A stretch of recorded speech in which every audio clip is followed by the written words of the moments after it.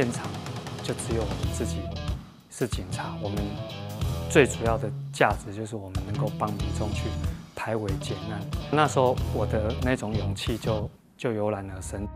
捷运月台上，众人合力压制持刀妇人。这起捷运挥刀事件能够顺利落幕，多亏了画面中蓝衣卡其裤的民众、下班回家的警察杨富红。当时已经下班的杨富红在捷运上听到一旁发生争执，背负着警察的使命，立刻挺身而出。我在压制的过程当中，那因为那个当时那一位。妇人啊，她手上的刀啊，她是藏在那个口袋里面。她在压制的时候去踢到她的她的刀，所以在膝盖的地方有被刀刺到。这位舍己救人的警察名叫杨富红，这次果断挺身，源自于他热心的性格。过去曾经担任监视人员，经手过包括徐伟伦车祸案以及各种刑案意外现场。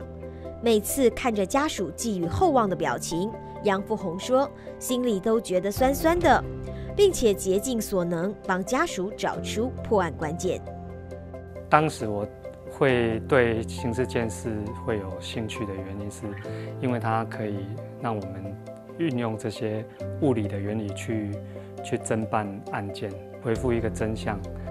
尽管工作内容和冲锋陷阵的远景大不相同，不过杨富红还是遇上不少危险。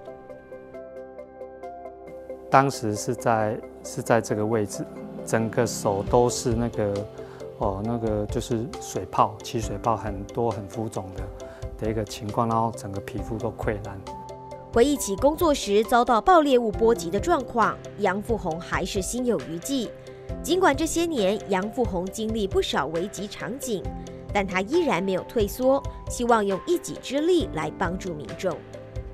其实，像这一门工作最主要的意义，就是在于，就是说，它可以帮民众，哦，解决一些一些案件的问题。